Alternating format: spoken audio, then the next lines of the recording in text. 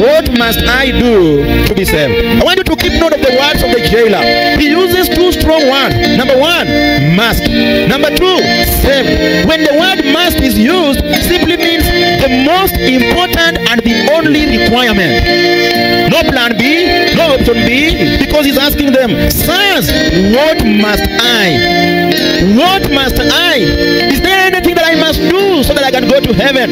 Is there anything that I must do so that I can see the kingdom of God? Is there anything that I must do so that I don't go to hell? The word saved. He says, What must I do to be saved? The word saved simply means being delivered from the powers of eternal damnation, never going to hell again. You know, when we are doing our soul winning, sometimes when we ask people what they understand by the word saved, people will give you different definitions. Others will tell you to be saved is to dress well, to be saved is to stop smoking, to be saved is to be a good person, to be saved is to pray every day. But brothers and sisters, even without referring to the scriptures, the word saved comes from the word save. It's an action, and only a powerful personality, a powerful subject, a powerful power can save you where you are helpless. Say, for example, if, if I was in my house and my house was on fire, at that point in time, I cannot deliver myself. I am in risk of dying. What will happen unto me? I'll begin screaming, calling for help. And whoever will come and secure me out of that trouble will be called my savior with regards to that situation. This man is asking Paul and Silas, what must I do to be saved? What is the requirement, the must requirement that I'm supposed to do so that I never go to hell? So if you are getting me right, this is the point. This is a man who is asking to call and Silas because he does not want to go to hell because of his sins. Number one, in that question, he realizes that he's in danger of going to hell. You know, when you begin to ask someone, what must I do to, to be saved? What must I do to go to heaven? It begins from you being informed that, hey, you are in danger. The probability, the chances of you going to hell are high. Any sin that you have ever committed in your life is enough to take you to hell. It's not about a big sin. It's not about a small sin. No, any sin that you've ever committed in your life and you are still in that condition, you have not come to a point of asking Paul and Silas, what must I do to be saved? You have not come to a point of agreeing to speak to our soul winners, agreeing to speak to Pastor Paul, agreeing to look out for the truth. That sin is just enough to take Are you from Uganda? Or Burundi? Ah, nice. Uh, you same to you. You come from Burundi. Okay. Uh, in Burundi, where, where, where do you go to church? Or you are born here?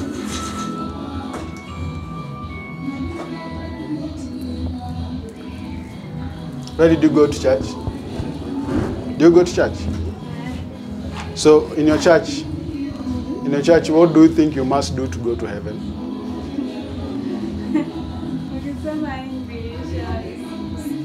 Kiswahili. Tumie Kiswahili. polepole. Oh, pole pole. Okay, nini unafaa ufanye uende mbinguni? Unafaa ufanye nini uende mbinguni?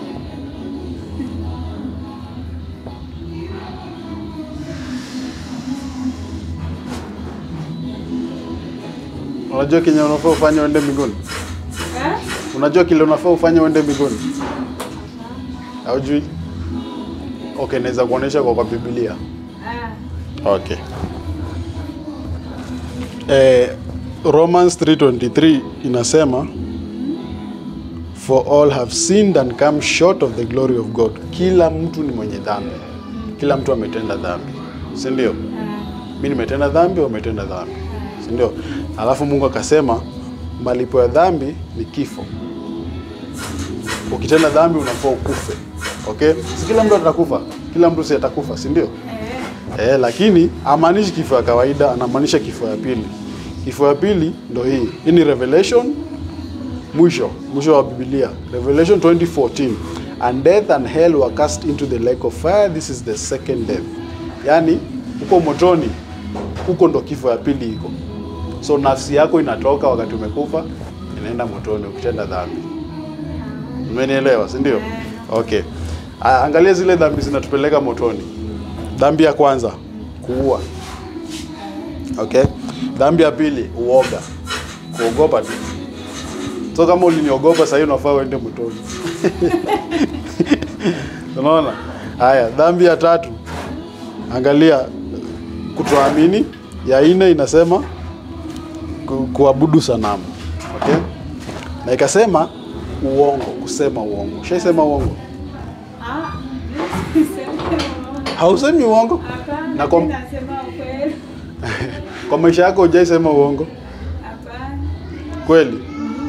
Okay, sasa umeshanidanganya. La, okay, so ushanidanganya. Wewe ushasema uongo eh? Oh, leo Kiswahili. Okay. Biblia inasema kila so umesema kila mtu ni mwenye dhambi. Ushaifanya dhambi? Eh? Hmm? Biblia inasema kufikiria ujinga ni dhambi. Unaelewa? Biblia inasema kufikiria ujinga ni dhambi. Na dhambi inapeleka mtu wapi?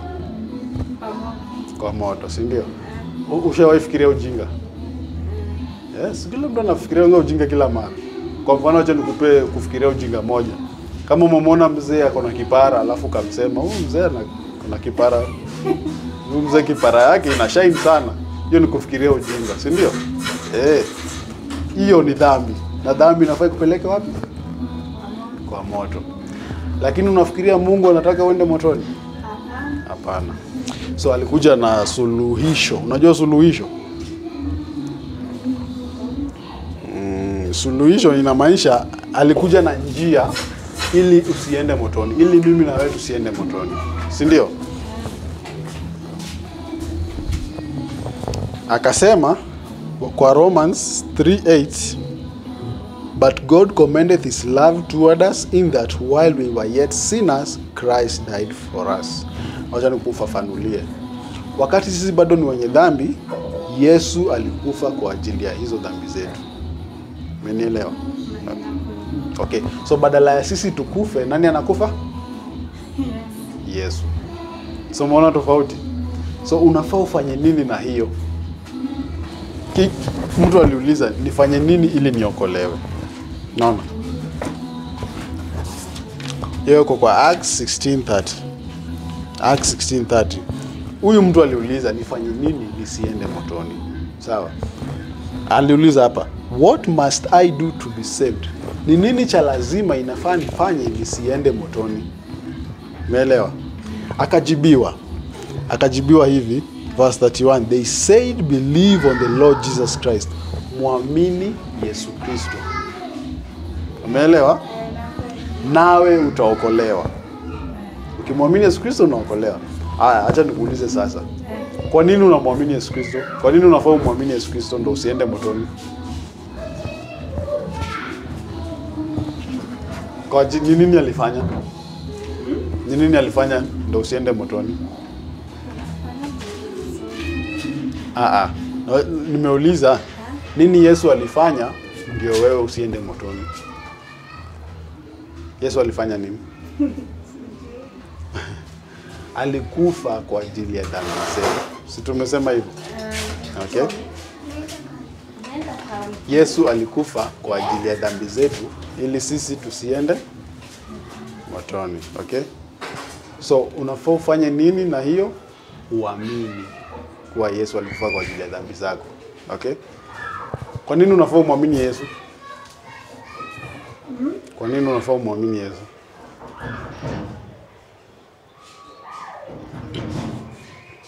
Acha niulize basi swali to, ikiwa i, nini unafaa ufanye usiende motoni?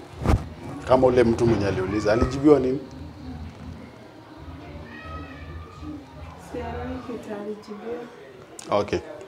Aliuliza nafaa fanye nini? Nini cha lazima inafaa nifanye nisiende motoni? Akajibiwa, mwamini Yesu Kristo. Umeelewa? Okay. So unafaa ufanye nini cha lazima usiende motoni? Mwamini Yesu Kristo, si ndio? Kwa nini unafaa umwamini Yesu Kristo? Usiende motoni, si ndio? Mm. Yesu alifanya nini? Alikufa. ndio wewe usikufe, si ndio? Mm. Yeye ali, alikufa kwa alikufa kwa, kwa ajili ya hizo dhambi sawa sawa Mm. so ni kama alichukua dhambi zako alichukua dhambi zako yani akakufia hizo dhambi ndio wewe usikufe so kenye unafaa ufanye uamini peke yake hajakwambia uamini na uende kanisani amesema tu amini nawe utaokolewa so unanielewa lakini? Okay. Unajua ushaisoma biblia mahali john 316 john 316 unaijua? Yohana 316 Ushaisikia? Ushaisikia verse kama hiyo? Hii vasi inasema hivi. Yohana 316 sawa? Sinikueleze zindo ama uko na biblia hapo oh, ah, sawa. Basi ifungue. Yako ni ya kiswahili? Burundian ah, basi vizuri.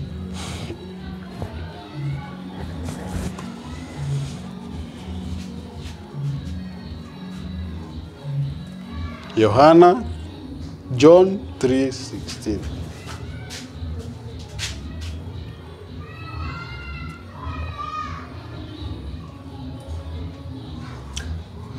tatu kumi na sita. Hii ni gani?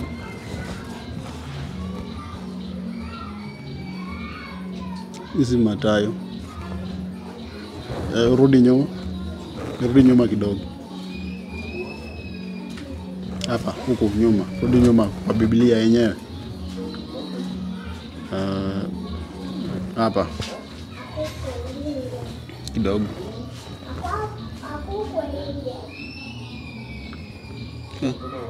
Kwa biblia yenyewe hizo hizo chapter ziko wapi?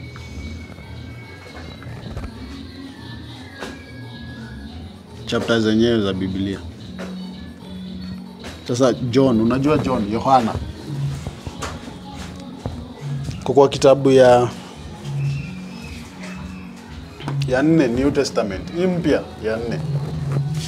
Yohana. Tatu hii- hii ni Yohana kwanza. Kuna ile Yohana, Yohana ya kawaida hii hmm? hii ni first John. Kuna ile Yohana wachana, hii iko na number one. Kuna ile ingine Yohana ile ya kawaida haina haina namba ndio hii Eh, tatu kumi na sita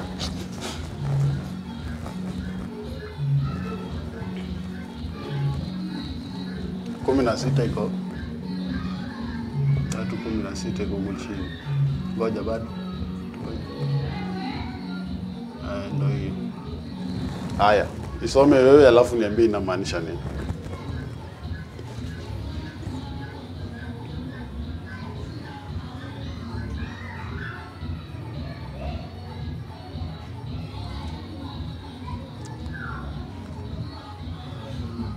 Umeelewa?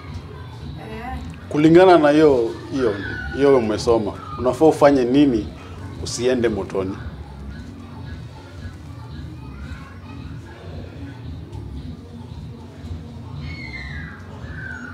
Unafaa ufanye nini upate maisha ya bila mwisho, maisha ya milele?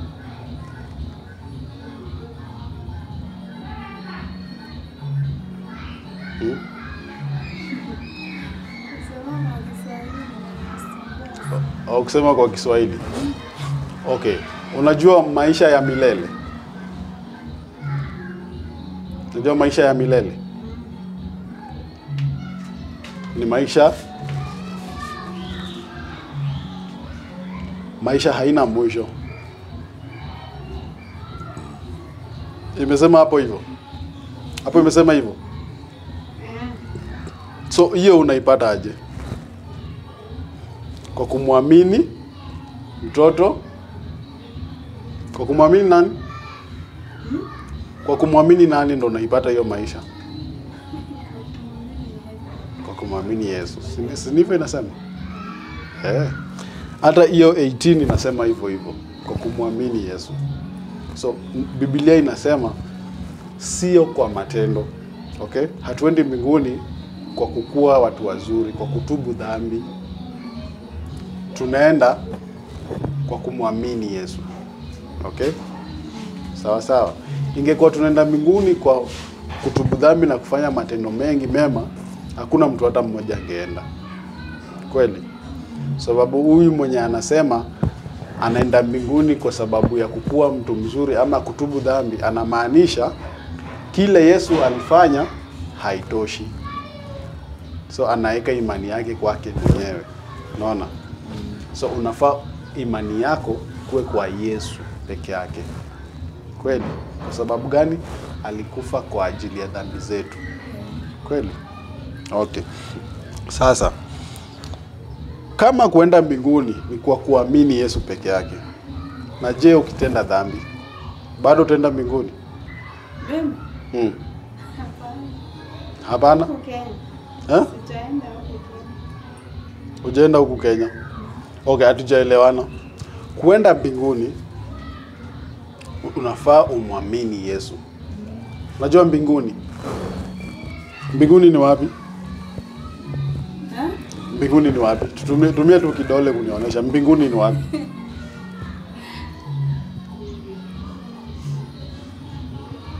Kuna moto na kuna huko juu. Huko juu kunaitwa aje? Wapi? Huko juu. Si unajua kuna kwa kuko moto, kwa moto, si ndio? Na kuna mbinguni, si ndio? Kwa moto unaenda kwa dha, kuchomeka kwa ajili ya dhambi zako. Kama haujamwamini Yesu unaenda motoni. Sawa? Ukimwamini Yesu unaenda wapi? Mbinguni. Unajua mbinguni ni wapi? Huko juu. Kweli? Eh, hivyo. Kuenda mbinguni hapo ndo inaonyeshwa ni kwa maisha bila mwisho. Huko ndo kuko na uzima wa milele. Umeelewa? Kweli? Na unaendaje huko? Eh, una, un- unafaa ufanye nini ndo uende huko? Ufanye nini uende huko chini? Ah, unafaa ufanye nini ndo uende huko mbinguni juu? Huko mbinguni. Eh, Umwamini Yesu. mwamini Yesu. Kuna kitu kingine unafaa ufanye ndo uende mbinguni? Hapana. Hapana, si ndio? Kwa kumwamini Yesu peke yake. Umeelewa? Okay. Kwa mfano, ukitenda dhambi baada ya kumwamini Yesu, Mungu anakupiga viboko huku duniani. Unanielewa? Hiyo iko kwa Hebrews. Sijui kama utajua hiyo.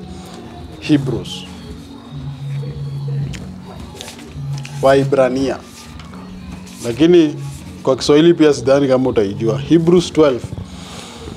For whom the Lord loveth, ule Mungu ambaye anampenda, sawa, he chasteneth. Utaipata Waibrania. Hebrew. Karibu na huko mwisho ndio hii hapa. Hebrews 12 12 uh, verse 6 number 6 haya haya soma verse 6 hiyo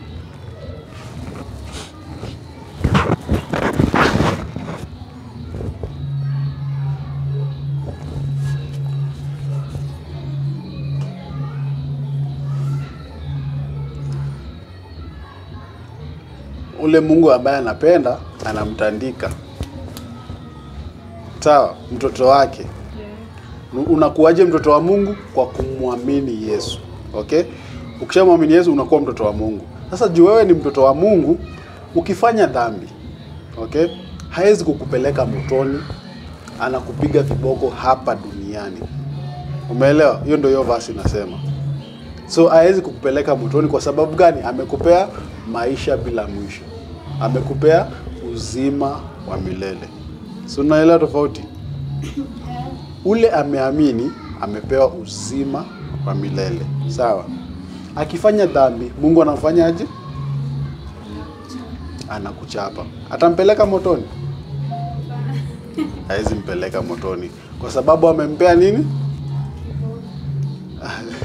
Kwa sababu umempea nini? Nini nafanya usiende motoni? Umepewa nini? Eh? Nini ina, inakufanya hautawahi enda motoni nini ulifanya usiende motoni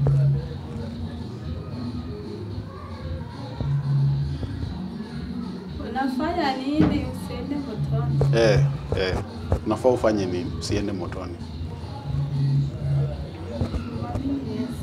Mwamini Yesu. Hiyo ndo maana hautaenda motoni, sawa? Sababu Yesu amekupea uzima wa milele juu ulimwamini. Alikufa kwa ajili ya dhambi zako, na baada ya kumwamini amekupea uzima wa milele. So hata ukifanya dhambi, hata dhambi kubwa aje, okay, hawezi kukupeleka motoni, sawa? Atakupea kiboko hapa duniani. Kwa mfano, kwa magonjwa maybe kansa. unajua kansa, naona ama upigwe huko na u, akichoka na wewe anakuua kwa hii dunia sawa, alafu unaenda mbinguni kwa sababu amechoka na wewe, lakini hawezi kukupeleka motoni kwa sababu amekupea nini?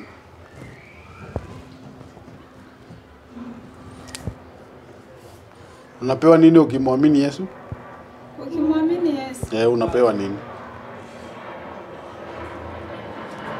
unapewa nini? Mm. Ukimwamini Eh, nini unapewa? Eh, ana- ndio hiyo maisha bila mwisho. Anakupea maisha bila mwisho. Unaenda mbinguni. Ni- ni- Hiyo tu iko sawa sawa, iko ina, inafanana. Sawa sawa. Okay, sababu umeelewa. Nataka umwambie Yesu kuwa umeamini. Sawa. Hiyo iko kwa fungua fungua Romans eh, Romans.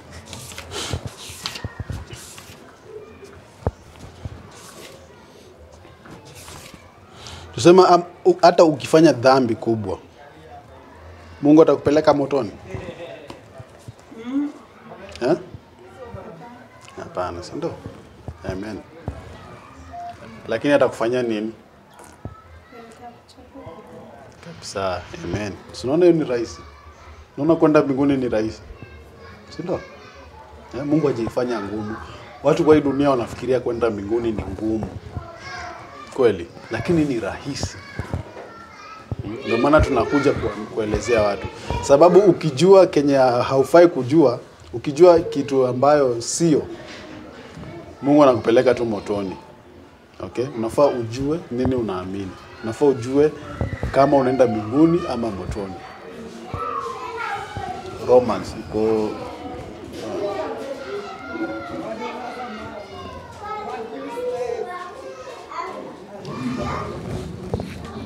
hiyo ni Romans, Abrom. Romans 10, hebu weka 10.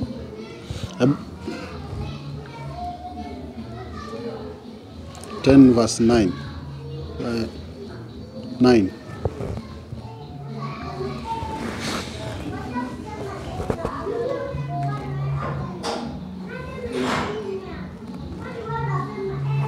Ni hiyo kweli? Hii.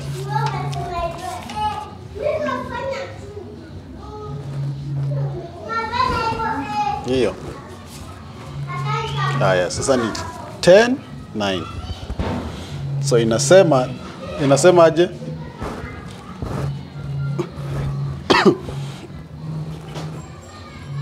ukitu ukikiri na mdomo yako. Eh, sawa. Umeona? Haya. Na uamini na roho yako kile ambayo mimi nimekuhubiria saa hii si ndio? Ki- kwamba yesu alikufa kwa ajili ya dhambi zako na akafufuka. Umeokolewa. Si ndio? Verse 10 pia inasema unatumia roho yako kuamini. Si ndio na mdomo yako kufanya nini? Kutamka kile umeamini si ndio? So hapa unakubali kuwa kile ulikuwa unaamini kabla tuongee. Unasahau. Unaamini kile yesu amekwambia ufanye si ndio? Amekwambia umwamini yeye ndo akupee uzima wa milele si ndio? Sasa na sahii nataka umwambie na mdomo si ndio? Asema bwana yesu eh, rudia nyuma yangu Bwana Yesu, naamini kuwa ulikufa kwa ajili ya dhambi zangu na ukafufuka. Naomba unipe uzima wa milele. Nakubali kuwa mimi ni mwenye dhambi. Nasema asante kwa kunipa uzima wa milele ambayo ni kwa imani peke yake. Amen.